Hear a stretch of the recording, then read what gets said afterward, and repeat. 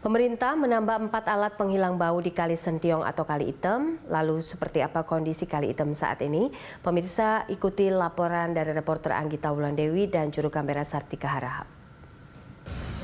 Berbagai upaya terus dilakukan pemerintah untuk merevitalisasi sungai-sungai yang terdampak limbah industri di Jakarta, salah satunya dengan upaya melakukan perbaikan kualitas air di Kali Sentiong atau biasa disebut masyarakat sebagai Kali Hitam yang lokasinya uh, bertepatan di depan Wisma Atlet Kemayoran Jakarta Pusat. Dan memang uh, Kali Sentiong ini memang sempat menjadi sorotan publik dikarenakan kualitas air yang sangat buruk sehingga bau tidak sedap itu sampai tercium di tahun Tower 7 Wisma Atlet Kemayoran sebelum dilakukan pemasangan waring dan juga menebar uh, bubuk mikroba pemakan bakteri peng, penyebab bau di Kali Sentiong ini sendiri. Dan salah satu upaya yang dilakukan pemerintah juga sekitar uh, tadi pagi uh, pemerintah yaitu dari pihak Kementerian Lingkungan Hidup dan Kehutanan atau KLHK bersama dengan pihak dari Lembaga Ilmu Pengetahuan Indonesia atau LIPI menambahkan dan memasang sebanyak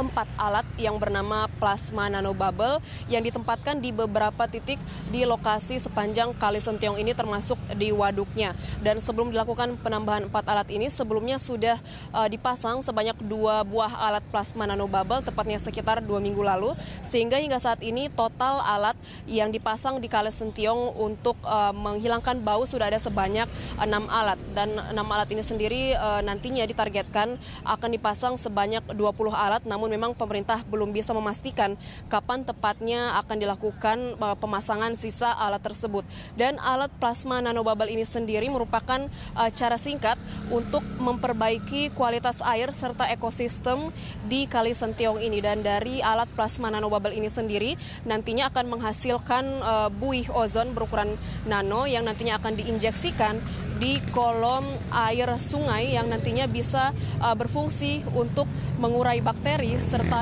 uh, memakan mikroba yang juga menghasilkan bau dan menyebabkan keruhnya air di Kali Sentiong ini. Tentunya kita berharap uh, upaya revitalisasi air di Kali Sentiong ini menjadi langkah pembuka dari pemerintah untuk terus melakukan revitalisasi sungai-sungai yang terdampak dari limbah industri di Jakarta. Dan tentunya untuk uh, cara menghilangkan bau di Kali Sentiong ini hanya merupakan uh, cara untuk uh, secara singkat karena